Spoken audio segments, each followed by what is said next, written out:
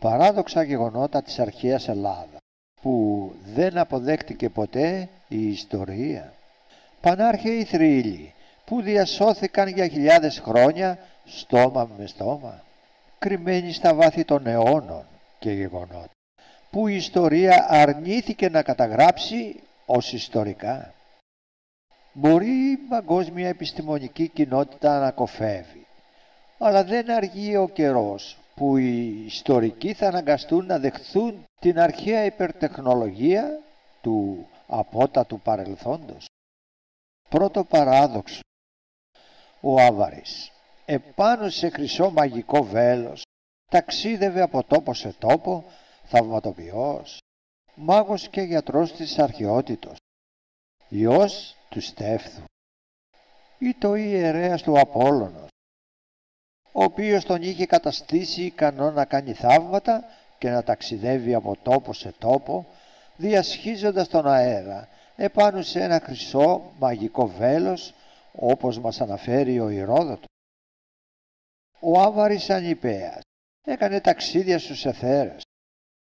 Μετά, από εντολή του Απόλλωνος, έκανε το γύρο της γης, χωρίς να λάβει καμία τροφή σε όλο το διάστημα της περιφοράς του, δηλαδή του γύρου της γης. Όταν ήρθε στην Ελλάδα, θεράπευσε ασθενείς, δίδαξε την ιατρική επιστήμη, καθάρισε συνειδήσεις, έσωσε ψυχές, κατέπληξε τον κόσμο με τα υπερφυσικά έργα του και τις προφητείες του. Σε αυτόν αναφέρεται ο Πλάτωνας στο έργο του Χαρμίδης. Ο Μένδης της Αιγύπτου στο έργο του φυσικά.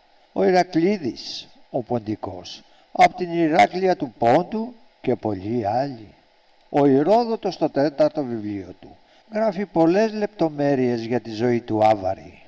Στην αρχαιότητα κυκλοφορούσαν πολλά αποκρυφιστικά βιβλία τα οποία αποδίδονται στον Άβαρη όπως σκηνθικά, μυθεύματα και μία θεογονία σε πεζό λόγο. Δεύτερο παράδοξο. Η χρυσή και ασημένη αθάνατη πανίσχυρη μηχανική σκύλη του βασιλέα Αλκινόου. Οι θεοί ήταν ιδιαίτερα ευχαριστημένοι με τον βασιλιά Αλκίνο και μέσω της τέχνης του ηφαίστου του χάρισαν χρυσούς και ασημένιους αθάνατους και πανίσχυρους μηχανικούς σκύλους για την προστασία του παλατιού του. Τρίτο παράδοξο. Οι χρηστές θεραπένιδες του ηφαίστου εις τον Όλυμπο για τους θεούς και τον ίδιο. Ο ύφεστος, αν και τυπικά, ήταν παντρεμένος με την Αφροδίτη. Αισθάνεται πολύ μοναξιά και αναγκάστηκε να φτιάξει μερικές χρυσές γυναίκες, θεραπένιδες, να τον βοηθήσουν στο εργαστήριο, να τον στηρίζουν για να περπατάει καλύτερα, αλλά και για να έχει κάποιον να μιλάει. Επίσης, είχε κατασκευάσει για τους θεούς κοπέλες σαν τα κρύα τα νερά, όμως ήταν από χρυσό και είχαν ένα πλεονέκτημα. Δεν μιλούσαν, αλλά ό,τι ήθελαν οι θεοί έκαμαν. Φέρε μου νέκταρ, έφερνε νέκταρ. Φέρε μου αμβροσία, έφερνε αμβροσία. Ό,τι τους ζητούσαν έκανα. Δηλαδή, οι περέτριες του Ολύμπου, όπου δεν ήσαν άνθρωποι, χρυσές, δηλαδή άψυχα όντα, μήμπως ρομπότ, πράγμα που κατά τον Ισαάκ Ασίμοφ αποτελεί την πρώτη αναφορά σε ρομπότ. Άθρα και σκέψεις, Γεώργιος Εχέδωρος. Επίσης ο ύφεστος είχε κατασκευάσει για τους θεούς κάτι σαν μικρά τραπεζάκια που καθένα είχε αυτό που ήθελε ο κάθε θεός και τα οποία εκκινούνταν μόνα τους και τα ονόμαζαν αυτόματον. Τέταρτο παράδοξο. Οι βοηθοί του ηφαίστου είχαν κατασκευάσει αυτόματα και για τον εαυτό τους άνδρες από χρυσό ή μπρούτζο, άνδρες οι οποίοι ήσαν επιστήμονες, τεχνίτες και οι οποίοι βοηθούσαν τον ύφεστο σε ό,τι τεχνούργημα ήθελε να κατασκευάσει. Πέμπτο παράδοξο. Ο τάλος κατασκευή του ηφαίστου. Ο τάλος ήταν κατασκεύασμα του ηφαίστου, ο οποίος ήταν ένα πανύψηλος πολεμιστής κάλκινος, δώρος στο βασιλιά της Κρήτης Μίνωα. Ο τάλος έκανε το γύρο της Κρήτης τρεις φορές το 24ωρο. Όποιον έβλεπε να πλησιάζει και είτε ο επικίνδυνος του έριχνε βράχια και ευούλιαζε το καράβι. Λέγεται ο ύφεστο. Θέλοντας να τιμήσει το τάλο για τον άδικο χαμό, είχε σπροχθεί από τον Δέδαλο κατά λάθος από την Ακρόπολη. Ο Δέδαλος. Ο Τάλος φαίνεται πως ήταν ένας από τους καλύτερους αρχιτέκτονες της εποχής, διότι σε αυτόν αποδίδεται το κτίσιμο των ναών της Αθηνάς και του Ποσειδώνος. Ο ναός της Αθηνάς τίστηκε στον βράχο της Ακροπόλεως, όπου σε αυτόν μάλλον είχε τοποθετηθεί για πρώτη φορά τον ξύλινο άγαλμα της προστάτηδας της θεάς της πόλεως. Ήταν ένας πάρα πολύ όμορφος ναός και λέγεται πως αυτή η μεγάλη επιτυχία είναι που του παρακίνησε τη ζηλοφθονία του Δέδαλου προς τον Τάλο και τον γκρέμισε κατά λάθος από την Ακρόπολη με αποτέλεσμα τον θάνατο του μεγάλου αρχιτέκτονα. Η ιστορία αναφέρει πως ο Άριος Πάγος που ανέλαβε την υπόθεση της εκδικάσεως του θανάτου του Τάλου καταδίκασε τον Δέδαλο αφού και σαφώς δεν δέχτηκε τη δικαιολογία της κατά λάθου ρίψεως του αρχιτέκτονος από τον βράχο της Αγροπόλεως. Δια την αποφυγή τιμωρίας ο Δέδαλος έφυγε από την Αθήνα και ως φυγάς πηγαίνει στην Κρήτη. Εδώ αρχίζει η σχέση του με το Μίνωα. Άλλοι λέγουν ότι δεν έχει ουδεμία σχέση ο τάλος του Δέδαλου με τον τάλο του Ιφέστου. Έκτο παράδοξο. Μεταλλικά υπτάμενα άρματα. Ο Όμηρος εξάλλου στα έπι του περιγράφει τις αστραπιές μετακινήσεις των Ολυμπίων θεών στον εθέρα με μεταλλικά άρματα. Μας δίνει με τον τρόπο αυτόν την υπόνοια μιας θεϊκής τεχνολογίας, πολύ ανώτερης του ανθρώπου της εποχής εκείνης. Αναφέρει ο Όμηρος στην Ηλιάδα πως η Ήρα πέταξε από τον Όλυμπο πάνω στα πιέρια όρη, την Ημανθία, τα βουνά της Θράκης χωρίς να πατάνε οι φτέρνες της στις κορφές των βουνών και από τον Άθο κατηφόρησε και κατέβηκε στη Λίμνο. Ήριδε αήξασα λίμπεν Ήο Ολυμπίο 225 Πιερή δε επιβάσα. Και η μαθήν ερατίνη 226 σε αυτόν έφη πολλών θρικών Ωρεα νυφόεντα 227 Ακρότατας κορυφάς ουδεχθώνα μάρπτε ποδεήν 228 Εξ αθώο δε επιπόντων ευήσε το κειμένοντα 229 Λίμνον δε εισαφήκανεν πολυνθιείο θόαντος 230 Ο Μύριου Ηλιάς Ραψοδία Ξή και στίχη 225-230 Όταν έκτισε την Κωνσταντινούπολη ο Μέγα Κωνσταντίνος έφερε σε αυτήν το άρμα του Διός που το οδηγούσαν. Πύρινα άλογα. Διός άρμα εν τετρά συνήπης πυρήνης. Υπτάμενον παραδείο στυλών. Εκ παλαιών χρόνων υπάρχων. Συγγραφής Κωνσταντινούπολης Λιψία 1901 Ανατολικά 1975 Σελίδα 41-42 Άθρα και σκέψεις Γεώργιος Εχέδωρος Έβδομο παράδοξο Στυμφαλίδες όρνηθες Αυτές ήσαν στη λίμνη Στυμφαλίας Πήγε ο Ερακλής να τις εξοντώσει Οι στυμφαλίδες όρνηθες Ή το πουλιά όμως ή το μεταλλικά και από τα νύχια τους εκτόξευαν νύχια και και χτυπούσαν τον αντίπαλό τους. Σιδερένιο πουλί, όγδοο παράδοξο. Η μεταφορά του Οδυσσέως στην πατρίδα του με τον πλοίο των Φεάκων. Ο Αλκίνος, ζητώντας από τον Οδυσσέα πληροφορίες για τη χώρα του και το λαό του, του λέγει «Πες μου την χώρα σου και τον λαό σου και την πόλη, για να ετοιμαστούν προς την κατεύθυνση αυτή τα πλοία και να σε πάνε. Γιατί δεν υπάρχουν κυβερνήτες σε αυτά, ούτε πιδάλια που έχουν τα άλλα καράβια, διότι αυτά αναγνωρίζουν τις διαθέσεις και τις σκέψεις των ανθρώπων και γνωρίζουν τις πατρίδες όλων και τους εφόρους αγρούς και σαν πουλιά διαβαίνουν τις θαλάσσιες αποστάσεις, σκεπασμένα με σκοτάδι και συννεφιά και ποτέ δεν υπάρχει φόβος να πάθουν καμία βλάβη ή να αφανιστούν. Και φυσικά ο διάλογος σε ερμηνεία, όχι μετάφραση για την καλύτερη κατανόηση, μεταξύ του Οδυσσίας και του Αλκίνου είναι ενδιαφέρον, διότι αναφέρονται τα ακόλουθα. Όταν έφτασε η ώρα της αναχωρήσεως από το νησί τους, οι φεάκες του λέγουν «Έλα εδώ ξένε, πες μας που μένεις, τη χώρα σου και την πόλη σου. Να το πούμε στο πλοίο να σε πάει». Απαντά ο Οδυσσέας «Θα το πω εγώ στο καπετάνιο».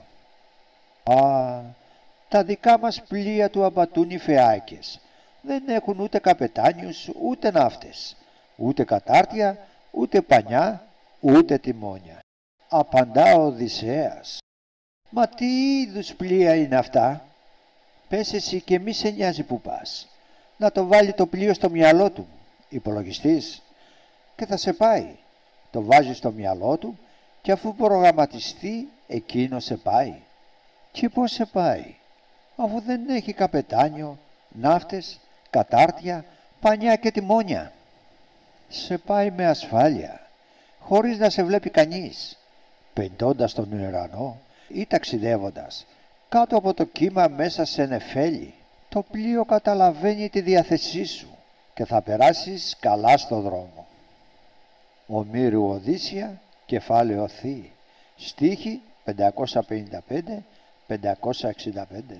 Είπε δι μίγα Ιάν, τε τι δήμον, τε πόλην τε, 555 όφραση την πέμπτωση, τη της κόμενη φρέση νύες, 556, ου γαρφεΐκεση κυβερνητήρες έασιν, 557, ουδέ τι πιδάλη έστι, τα άλλε νύες έχουσιν, 558, αλλά αυτέ ίσα συνοήματα και φρένας ανδρών, 559, και πάντων ίσα συμπόλιας και πίωνας αγρού 560 ανθρώπων και λάιτημα τάχισθε άλλος εκπεραιώσιν 561 η έρη και νυφέλη και καλυμμένε ουδέ ποτέ σφίν 562 ούτε τη ποιμανθήνε επιδέους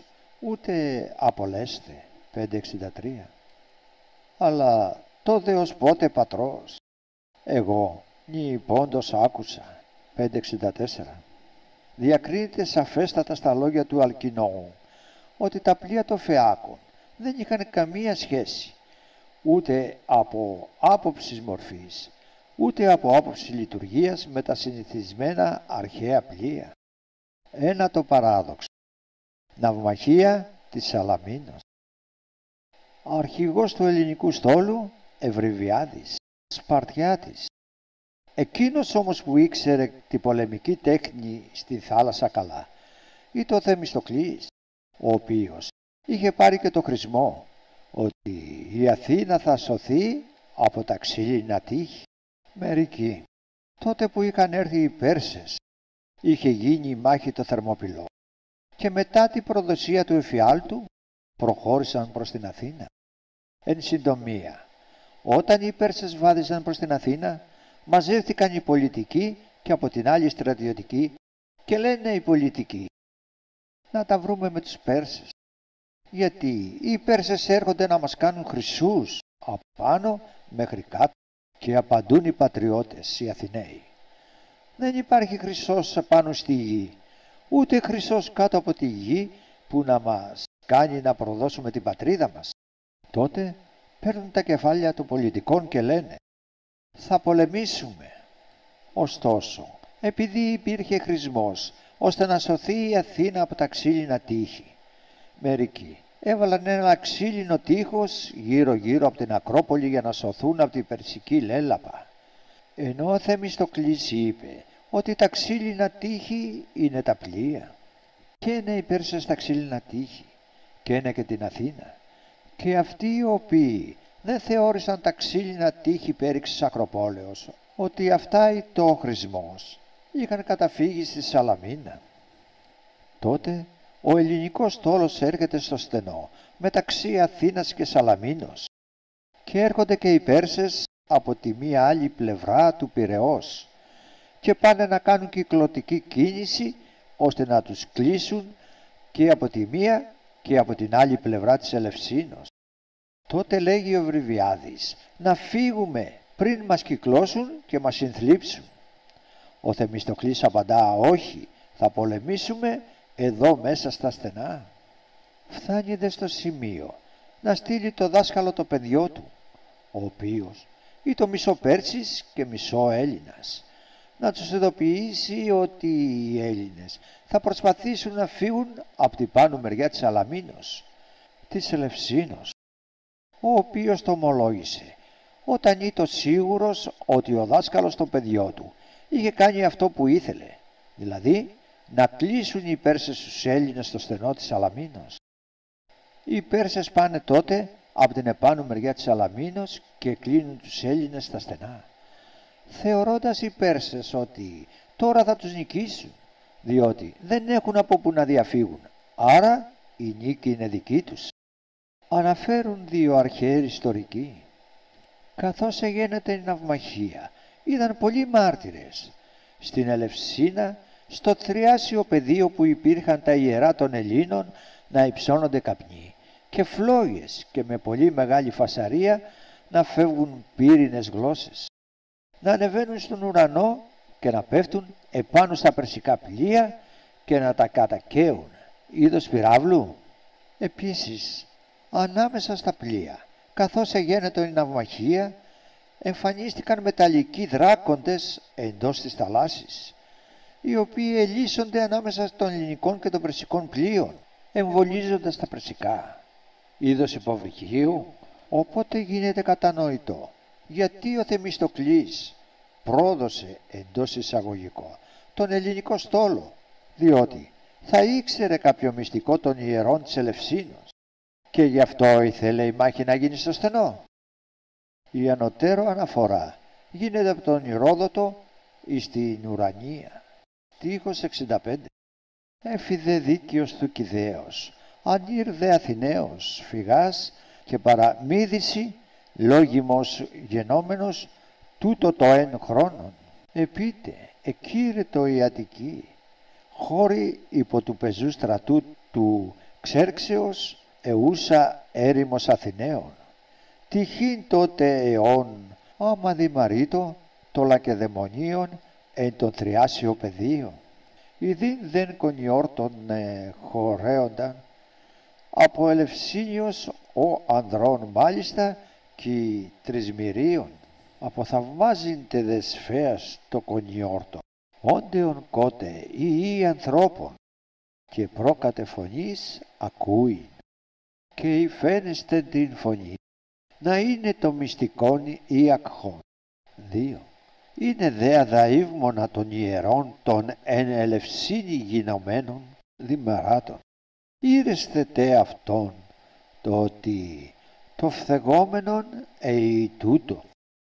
Αυτός δε είπεν δημαρείτε ουκ έστι όκος ου μέγα της ίνος έστε της βασιλέως στρατιή τα δε γαρ δε αρίδηλα ερήμου εούσης της Αττικής ότι θείον το φθεγόμενο από ελευσίνος ίος νέστη μοριή Αθηναίησι τε τίση συμμάχιουσι τέσσερα. Τι δεν δε όρτι ταύτην άγουσι Αθηναίοι. Αναπάντα αίτια τη μητρή και τη κούρη και αυτόν τέν βουλόμενος και των άλλων Ελλήνων μοιείται και την φωνή της ακούει εν ταύτην ορτή εκχάζουσιν προς ταύτα είπε δημάριτον σιγάτε και μηδενή άλλον τον ε λόγον τούτον είπεις. 5. Η γαρτής εν βασιλέα ανανύχθη.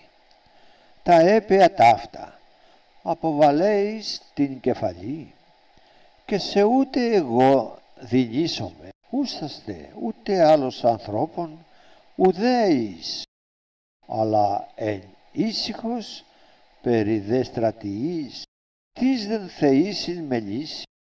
6 τον έμεν παντάφτα παρανέει, εκ δε του κορνιατού και της φωνής γένεσθε νέφος και μεταρσιόρθε να φέρεσθε.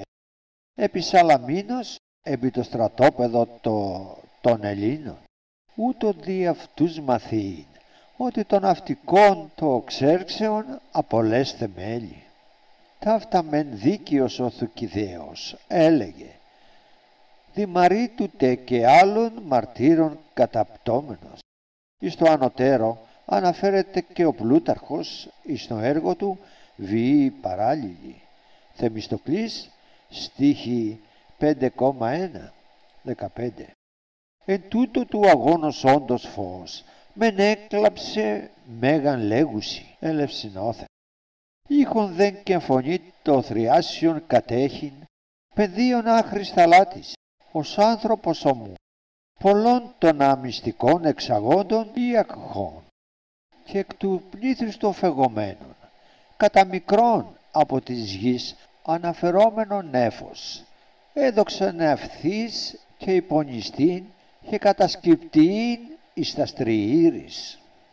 Έτεροι δε φάσματα και είδωλα καθοράν, έδοξαν ενόπλων αδρών, από εγίνης τας σχήρας ανέρχονται προς ελληνικών τριηρών. Ούσι κάζον εακίδας, είναι προσκεκλημένους ευχάς προς τη μάχη επί την βοήθεια. Δέκατο παράδοξο. Διαμέσου της δριός, δυνατότητα να γίνουν ορατά τα κεκριμένα της γης. Ο Λικεύς, ο Υιός Αφαρέος και της Αρήνης, περιόνομος κατά τους αρχαίους δια την οξυδερκιά του. Ο Πίνδαρος μας πληροφορεί ότι η δύνατο να βλέπει και διαμέσους τελέχους δριός ή κατά άλλους, κατά την υπό την υγιήν και κρυμμένα. Εκ τούτου και η παροιμία, οξύτερον του Λυκαίος βλέπει, κατά τον πόλεμο των Διοσκούρων, προς τους Αφαρίδες, ο Λυκεύς εφωνεύθηκε υπό του Πολυδεύ ενδέκατο παράδοξο. Η ναυμαχία εις τις αργινούσες νήσους. Κατά την ώρα της ναυμαχίας υπήρχε ένα φωτεινό αντικείμενο συνέχεια πάνω από τον περσικό στόλο, το οποίο περιστρέφωτο εις τον ουρανό επάνω από τα περσικά πλοία, υπτάμενο σκάφος.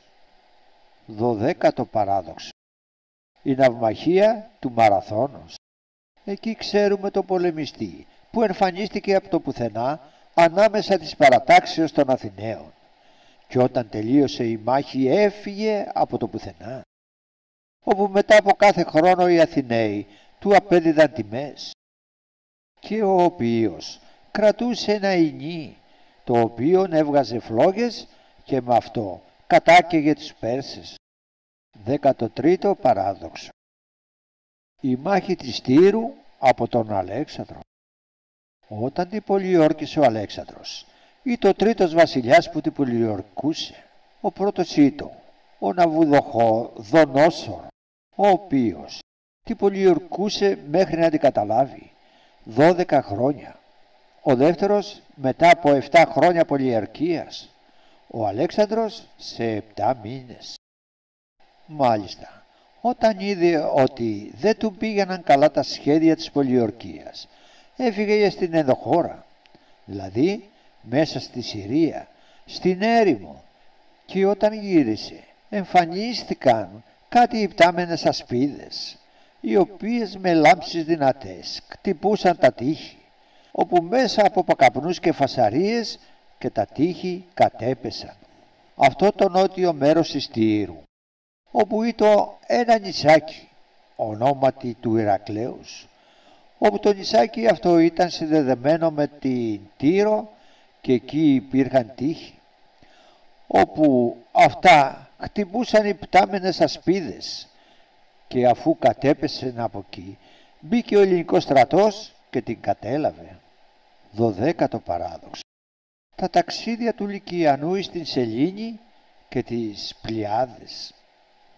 Ο Λουκιανός στο έργο του «Αληθής ιστορία» αναφέρεται για ένα ταξίδι στη Σελήνη όπου λέγει «Τύφων επιγενόμενος και περιδινήσας και ναύς και μετεωρήσας όσων επισταδίους, τριακοσίους, ουκέ την καθήκενη στον πέλαγος, αλλά άνω μετέωρον. Απόδοση. Δημιουργήθηκε τυφώνας που περιέστρεψε το πλοίο και το σήκωσε στον αέρα. Τρακόσια στάδια, χωρίς να ξαναπέσει στο πέλαγος, αλλά έμεινε εκεί μετέωρο. Ο οποίος μάλιστα μας πληροφορεί ότι με το αερόπλιό του έφτασε και σε ένα οικισμό που είχε όνομα Λιχνόπολης. Ο συγγραφέας, ο οποίος έζησε το 160 μετά Χριστόν, λέγει ότι το ταξίδι αυτό το έκαμε από περιέργεια ή της διάνοιας περιέργεια, αλλά και για να μάθει τι υπάρχει στην άκρη του ωκεανού και τι άνθρωποι κατοικούν. Το βούλεστε μαθήν τι το τέλος ένστιν του ωκεανού και τίνες υπέραν κατοικούντες άνθρωποι. Εκεί βρήκαν μια τεράστια χάλκινη στήλη που ήταν γραμμένη στα ελληνικά και έλεγε πως μέχρι εκεί είχαν φτάσει ο Ηρακλής και ο Διόνυσος. Όταν εξήλθαν για αναγνώριση στο νησί, συνάντησαν και ένα ποταμό τεράστιο που δεν έτρεχε νερό, αλλά κρασί που έβγαινε απευθείας από τις ρίζες των αμπελιών. Υπήρχαν και ψάρια που όταν τα έτρωγε κανείς μεθούσε. Έφυγαν από το νησί και όταν βρεθήκαν στο πέλαγος δημιουργήθηκε ξαφνικά τυφώνας που άρπαξε το πλοίο και το σήκωσε τρακόσα στάδια αλλά δεν το άφησε να πέσει πάλι στη θάλασσα. Επτά ημέρες και επτά νύχτες βρίσκοντας στον αέρα την 8η ημέρα είδαν μια μεγάλη γη στον αέρα σαν ένα μεγάλο νησί λαμπερό που είχε σχήμα σφαίρας με φωτισμό μεγάλο. Προσγειώθηκαν σε αυτή όπου και αποβιβάστηκαν. Διερευνώντας την παράξενη γη διαπίστωσαν πως ήταν κατοικήσιμη και καλλιεργημένη. Ο Λουκιανός μας λέγει πως η γη που βρήκαν την κατοικούσαν τερατόμορφα όντα. Ένα είδος από αυτά τους συνέλαβε και τους οδήγησε στο βασιλέα τους που είχε όνομα Ενδημίων. Αυτός κατάλαβε πως ήταν Έλληνες από τη στολή τους. Απόρρισε πως κατάφεραν να ταξιδέψουν στον ουρανό; Λέγει ακριβώς «Ο δε Θέας άμενος και από τη στολή Σικάσας Έλληνες άρα, έφη ημείς. «Ω ξένοι, πώς σου να φύκεστε, έφη, το σου τον αέρα διελθόντες». Τους εξήγησε μάλιστα πως ο τόπος που βρίσκονται είναι οι σελήνοι που βλέπουν από τη γη. Τότε πληροφορήθηκε πως εκεί, στο διάστημα, κατοικούσαν άλλα όντα, άλλα με κοινά γνωρίσματα αυτών της γης, με κράτη, με διενέξεις και πολέμους υπήρχαν Σεληνίτες και οι Ηλιώτες που είχαν κοινή απικία τον Εωσφόρο. Είχαν υπογράψει μάλιστα και συνθήκη ειρήνης μεταξύ τους. Τη συνθήκη αυτή τη γράψανε με ηλεκτρισμό και τη στήσανε στο μέσο του αέρα στα σύνορά τους. Εγράψετε τα συνθήκα στήλης ηλεκτρίνη και αναστήσε εν μέσω των αέρι επί της μεθορίης. Επίσης μιλάει για παράδοξα. Μας λέγει ο Λουκιανός πως πολλά παράδοξα γίνονται στη σελήνη. Τα αρσενικά όντα εκεί γεννούσαν. Δεν υπήρχε καν όνομα γυναικείο και οι γάμοι γίνονταν μεταξύ ανδρών. Ο καθένας μέχρι τα 25 του χρόνια γαμιείται. Μετά γαμεί αυτός μέχρι ούν 5 και 20 ετών. Γαμιείται έκαστος. Από δε τούτον γαμιεί αυτός. Εκτός από αυτό το σεξουαλικό παράδοξο. Εκεί τα όντα όταν γερνάνε δεν πεθαίνουν όπως στη γη. Αλλά σαν καπνός διαλύονται και γίνονται αέρας. Μας λέγει με τι τρόπο οι σεληνίτες έρχονται σε επαφή με τους γήινους; Υπάρχει ένα μεγάλο κάτωπτρο πάνω από ένα βαθύ φρεάτιο. Αν κατέβει κάποιος στο φρεάτιο, ακούει όλα όσα εμείς λέμε στη γη.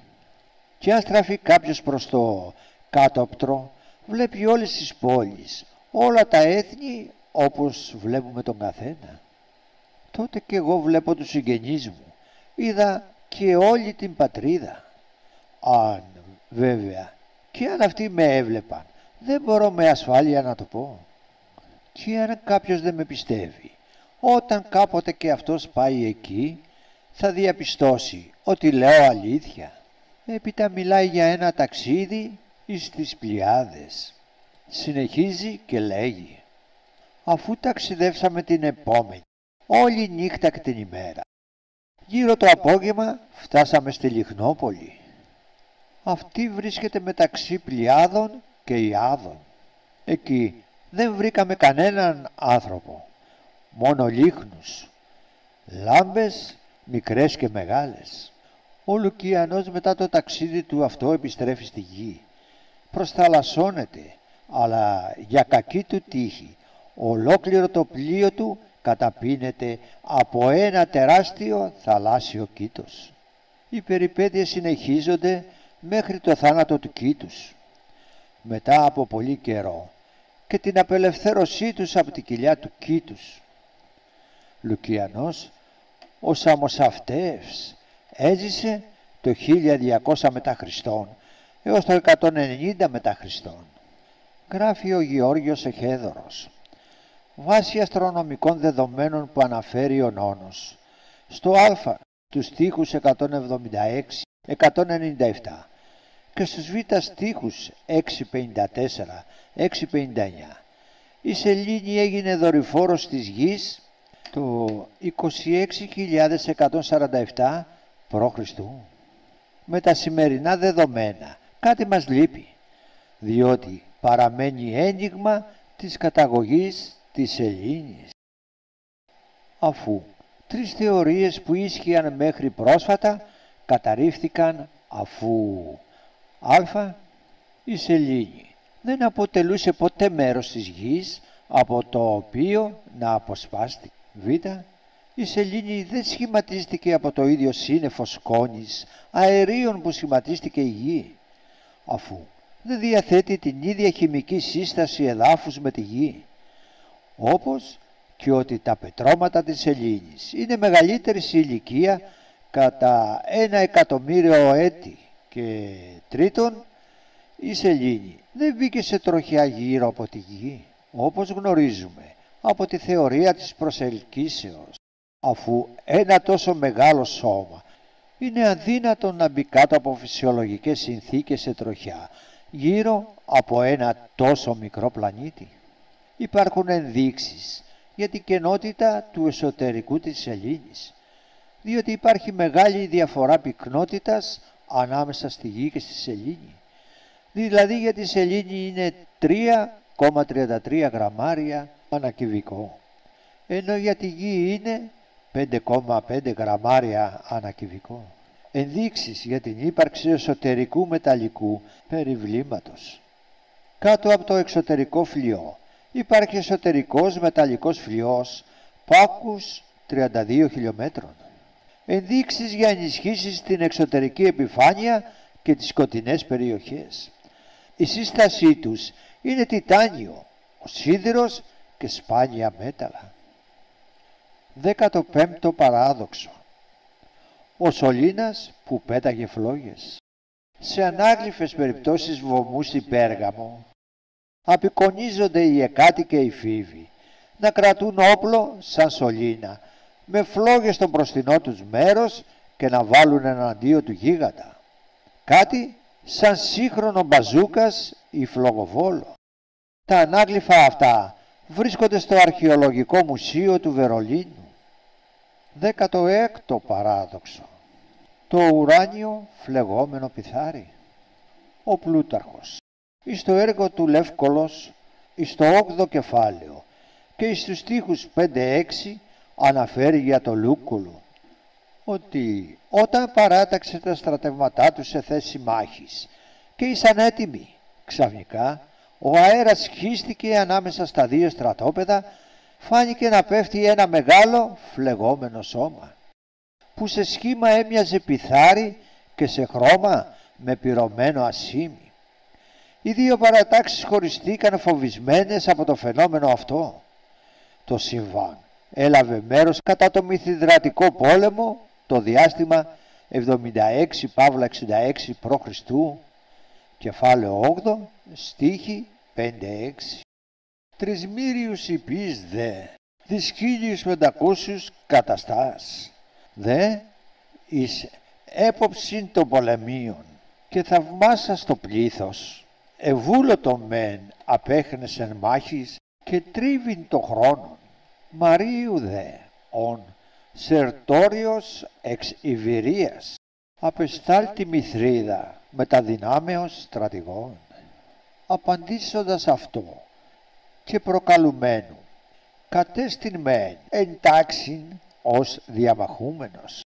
Ήδη δε όσων αυτών συμφερομένων και ουδεμίας επιφανούς μεταβολής αλλά εξεφνής του αέρος υποραγέντος όθη μέγα σώμα φλογοειδές, εις μέσον των στρατοπέδων καταφερόμενων. Το μεν σχήμα πίθο, μάλιστα τη δεν χρώαν αργυρό διαπύρων, προσεϊκός, ώστε δίσαντας αφωτέρους το φάσμα διακριθήνε. 6. Τούτο μεν ουν φάση εν φρυγή, περί τας λεγόμενας ο τρίας συνήβαινε το πάθος. Δέκατο έβδομο παράδοξο. Η ουράνια φλεγόμενη λαμπάδα. Ο Διόδωρος Σικελιώτης αναφέρει ότι πριν τη μάχη των Λευκτρών το εξής φαινόμενο μέχρι τότε οι Λακεδαιμόνιοι ηγεμόνευαν την Ελλάδα περίπου 500 χρόνια.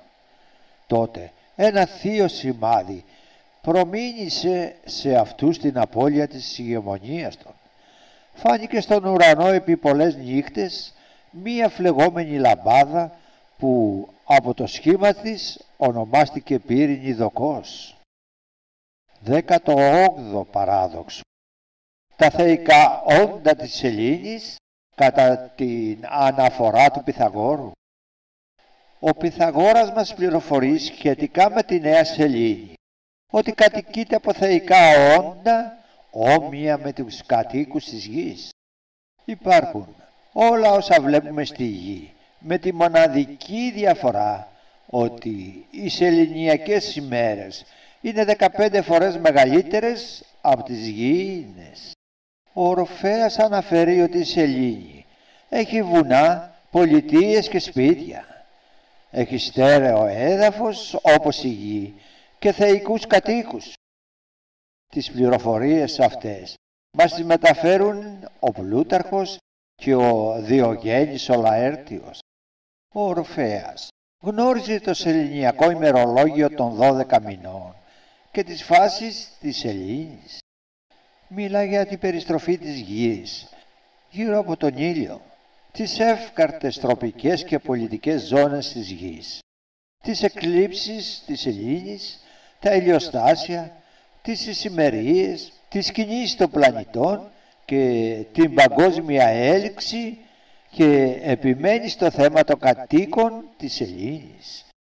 Ότι είναι αυτοί που περιπλανήθηκαν από πλανήτη σε πλανήτη. Ο Σοκράτης την χαρακτηρίζει μεγάλη κούφια σφαίρα που στο εσωτερικό της υπάρχουν θάλασσες και στεριές και κατοικούν άνθρωποι σαν εμάς, όπως μας αναφέρει ο Ξενοφάνης για το δάσκαλό του.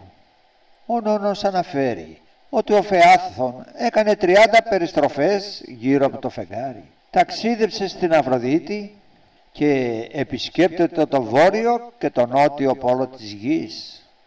Όλα αυτά που αναφέρονται από τους αρχαίους γραφείς είναι παράξενα ή παράξενα δεν ξέρουμε ακριβώς τι ήσαν αλλά και δεν μπορούμε να τα αγνοήσουμε.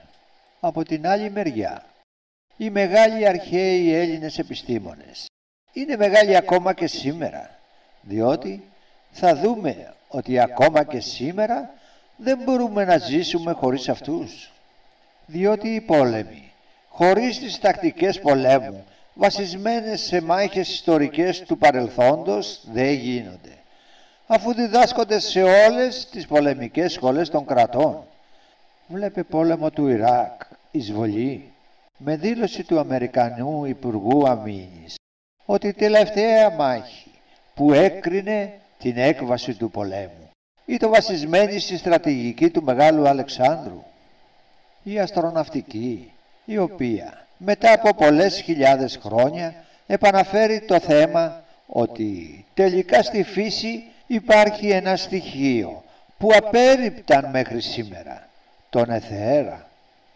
Το θέατρο και ο κινηματογράφος μεγαλουργεί επάνω σε έργα των αρχαίων θεατρικών συγγραφέων. Η ιατρική που θέλει να βαδίζει εμπρός σε πολλές σημερινές ανακαλύψεις της είναι πράγματα που είχαν υποθεί ή βρει ο Ιπποκράτης, ο Γαλινός, ο Θεόφραστος και πολλοί άλλοι. Αλλά στα ιστορικά κείμενα συναντάμε παράξενα ή παράδοξα, δηλαδή αναφορές όπου η ένδειξη της τεχνολογίας με τη τεχνολογία της εποχής δεν συμβαδίζει. Δεν ψάχνουν, αλλά κατηγορούνται οι ιστορικοί ή ότι είχαν φαντασιώσεις ή τα ονόμαζαν έτσι διότι ήσαν δυσιδαίμονες. Όμως ξέρει καλά η σημερινή επιστήμη ότι ένας ο οποίος φοβάται δεν αναπτύσσει ένα πολιτισμό τέτοιο και γνώσεις που ακόμα και σήμερα οι γνώσεις τους είναι εμπρός από την εποχή μας.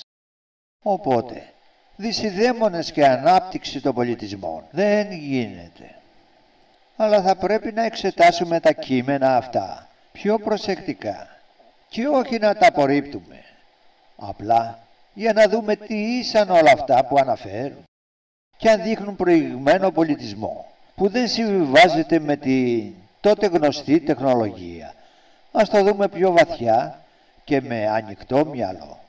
Διότι τις περισσότερες φορές τα συνοδεύουν και αρχαιολογικά ευρήματα διότι είναι προτιμότερο να πούμε ότι δεν γνωρίζουμε, δεν ξέρουμε, διότι η αρχή κάθε γνώσεως είναι το «εν είδα ότι ουδέν είδα». Μέσα από τη λαογραφία, ο μαγικός καθρέπτης. Τρία, Κωνσταντινούπολη. Εις τους τροικούς μύθους και το παλάδιο υπήρχε μαγικό κάτωπτρο που εφαίνοντο τα συμβαίνοντα εις ολόκληρον τον κόσμο. Επίσης ο Άδαμης, εις διηγήσεις του εις την αρχαία Ελλάδα, αναφέρει πύργο εις τον οποίον δια του μαγικού καθρέπτου έβλεπε τα συμβαίνοντα εις ολόκληρη την οικουμένη. Εις τα εν λατινικής διασωθέντα, κατροπτικά του Ήρωνος του Αλεξανδρέως τα οποία εις τον κεφάλαιο 11 ως 18 δεικνύουν πόσο καταπληκτικά οπτικά φαινόμενα παράγουν οι παντός είδους τεχνικής συνδέσμη των επιπέδων και κύλων κατόπτρων. Ο μάγος Βυργίλιος δεικνύει εις ένα πολεμιστή την απιστούσα σύζυγό του εις την οικία του και η οποία σκευωρεί μαζί με τον ερωτή της το θάνατό του. Ο μάγος Μέριλ κατασκευάζει καθρέφτη, εις τον οποίο μία θυγατέρα έβλεπε την εικόνα του ερωμένου της, αναφέρει στο βιβλίο «Fairy Queen του Σπένσερ» η ύπαρξη μαγικού καθρέπτου εις τα ανάκτορα της Κωνσταντινούπολεως. Έρχεται με την καταστροφή του από το Μιχαήλ το τρίτο. Από πότε υπήρξε; Δεν υπάρχουν στοιχεία. Τη διήγηση την παραλαμβάνουμε από τον ιστορικό βιβλίο του Ψευδοδωροθέου, σελίδα 343 και 344 της Ενβενετίας εκδόσεως του 1750. Ο βασιλεύς, αφού παρευρέθη εις αγώνες εις το υποδρόμιο, επανήλθε εις το παλάτι με πολύ καλή παρέα για συζήτηση και κρασί. Εις την σελίδα 343 αναφέρει και εκεί, εις την μεγάλη χαρά και ευθυμία που είχαν, ήρθε ο γραμματικός του και είπε «Να ξέρεις βασιλέα, οι Τούρκοι ετοιμάζονται με φουσάτα και έρχονται κατά πάνω της βασιλείας σου να σε πολεμήσουν» και να ακούτε από πού το έμαθε ο γραμματικός. Η βασιλεία είχε ένα καθρέφτη μέγα και θαυμαστό, τον οποίον το έκανε με θαυμαστή τέχνη ο Λέων ο Σοφός. Λέγεται ότι το είχαν καμωμένο με λεκανομαντία. Εκεί μέσα έβλεπες όλο τον κόσμο. Τους βασιλιάδες, τους αφέντες, τους στρατηγούς, τα φουσάτα στρατούς, τα άλογα, τα άρματα, τα κάστρα, τις χώρες και ό,τι άλλο ήθελες να ειδείς τον κόσμο. Πήγαινες και το έβλεπες στον καθρέφτη τούτο. Εάν έπαιρνες μία απόφαση που θα οδηγούσε και ειδικά όλες τις αποφάσεις που έπρεπε να παίρνουν οι βασιλείς για οτιδήποτε. Και έτσι ο γραμματικός πήγε και είδε τα φουσάτα των Τούρκων όπου μαζεύονταν για να έλθουν να πολεμήσουν την Κωνσταντινούπολη. Και πήγε και το είπε στον βασιλέα. Καθώς το άκουσε ο βασιλέας, του φάνηκε πολύ κακό για την χαρά που είχε εκείνη την ώρα. Και για να μην πάυσουν οι χωροί, τα παιχνίδια και το τραπέζι στείλε τους υπηρέτες του να τσακίσουν και να συντρίψουν ολοκληρωτικά αυτό το πολυτιμότατο και αξιέπαινο καθρέφτη. Το δε γραμματικό τον έβρισε και τον έδιωξε από το παλάτι. Η φωτεινή νεφέλη που εωρείται κατά την πολιορκία της Κωνσταντινούπολεως το 1453 Γεώργιος Φραντζής εις το βιβλίο του περί της αλώσεως της Κωνσταντινούπολεως ο Φραντζής στη σελίδα 21 αναφέρει από τις αρχές της πολιορκίας εφαίνοτο εκ τουρκικού στρατοπέδου νεφέλη φωτεινή ή της κατεβαίνουσα εξ πυρανού εν καιρό νυχτός εφηπλούτου άνωθεν της πόλεως. Οι Τούρκοι είδονται στο φως τούτο το πρώτον έλεγον ότι ο Θεός οργίστη κατά των χριστιανών και έριψε πυρ όπως κατακάφσει αυτούς. Βλέποντας όμως ότι το μεν φως κατήρχετο πάντοτε χωρίς να βλάπτει τους χριστιανούς ήτι δεν πάντοτε απεκρούοντο και εκρημνίζοντο εκ των τυχών. Μετέβαλον ιδέα και έλεγον ότι ο Θεός μάχεται υπέρ των χριστιανών και ότι δεν δύναται να πράξω σιουδέν άνευ θελήματος αυτού ενώ δε ο Σουλτάνος και όλη η στρατιά των βαρβάρων ευρίσκετο εις αθυμίαν, ευθύς εφάνει το φως εκείνων κατεβαίνων εξ ουρανού. Αλλά δεν εξυπλώθη ο συνήθως εφόλης της πόλεως, αλλά ρίψαν στη γερά στήνας ακτίνας επί του θόλου της Αγίας Σοφίας εγένετο άφαντον. Ο Σουλτάνος και όλος ο στρατός είδον τους τούτο εχάρισαν και έλεγον ότι ήδη εκατέλειπεν αυτούς ο Θεός. Οι δε Έλληνες εξηγούνται στο σημείο τούτο έλεγον ότι προμηνεύει σε αυτούς δάκρυα, άφεκτον και αιματοχυσία, δεσμά και φθοράν. Ταύτα δε γένετο την εσπέραν της 27ης Μαΐου.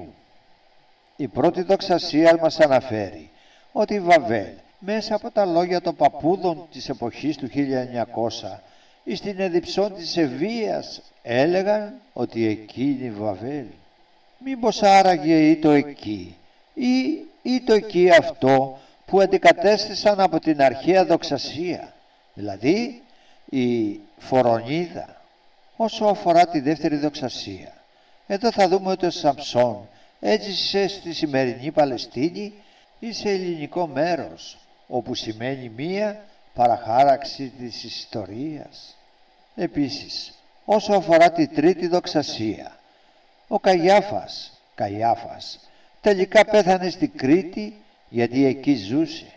Και αν ζούσε εκεί, για ποια ιστορία μιλάμε σήμερα, αφού εδώ έχουμε άλλη μία περίπτωση που μπορεί να υπάρχει παραχάραξη. Όσο δε αφορά το τάφο του Ζηνός, οι αναφορές είναι και των αρχαίων ιστορικών.